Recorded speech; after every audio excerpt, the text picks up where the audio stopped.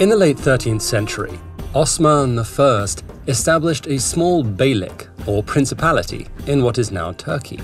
In just a few generations, this beylik outmaneuvered more powerful neighbors to become the vast Ottoman Empire. What enabled its rapid rise?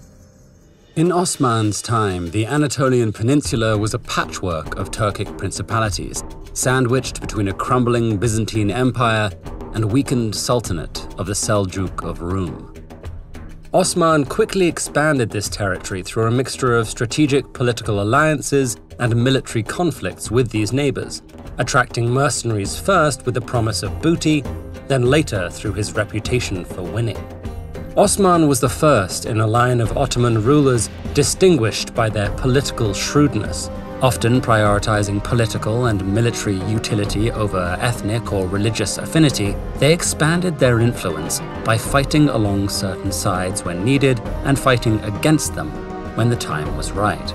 After Osman's death, his son Orhan established a sophisticated military organization and tax collection system geared towards funding quick territorial expansion. The Ottomans' first major expansion was in the Balkans, in southeast Europe.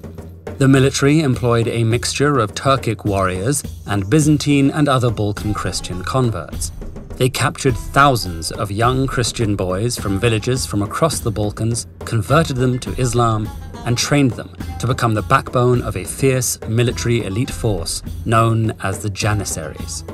The captured enslaved boys could rise to the high position of vizier in the Ottoman government Rulers of conquered areas were also allowed, even encouraged, to convert to Islam and take positions in the Ottoman government. Meanwhile, non Muslims who belonged to Abrahamic religions were allowed religious freedom in exchange for a tax known as jizya, among other strict conditions. For example, they were not allowed to join the army. By the end of the 14th century, the Ottomans had conquered or subordinated most of the Anatolian beyliks, as well as the Balkans. But in the first half of the 15th century, as Sultan Bayezid I focused on western expansion, the Central Asian ruler Timur attacked from the east.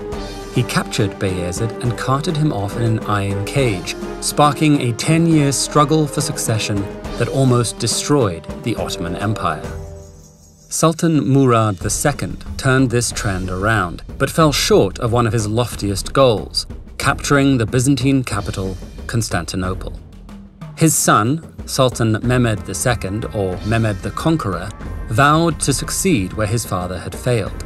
In preparation for the attack on Constantinople, he hired a Hungarian engineer to forge the largest cannon in the world, used Serbian miners to dig tunnels under the walls of the city, and ordered his fleet of ships to be carried overland, attacking the city from an unexpected direction.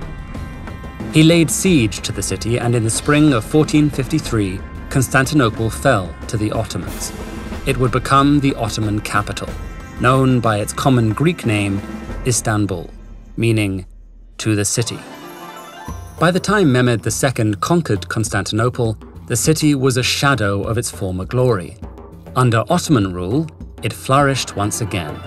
On an average day in Istanbul, you could hear people speaking Greek, Turkish, Armenian, Persian, Arabic, Bulgarian, Albanian, and Serbian.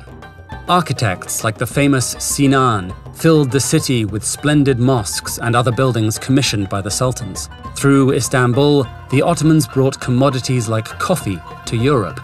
They entered a golden age of economic growth, territorial acquisition, art, and architecture. They brought together craftspeople from across Europe, Africa, the Middle East, and Central Asia to create a unique blend of cultural innovation. Iznik ceramics, for example, were made using techniques from China's Ming dynasty, reimagined with Ottoman motifs. The Ottomans would continue to expand, cementing their political influence and lucrative trade routes. The empire lasted for more than 600 years, and at its peak, stretched from Hungary to the Persian Gulf, from the Horn of Africa to the Crimean Peninsula. One of the capital city's great buildings was Hagia Sophia. A lightning rod for controversy, Hagia Sophia has been a church, a mosque, a museum, and is still used as a political chess piece to this day. Learn more about this ancient edifice with this video.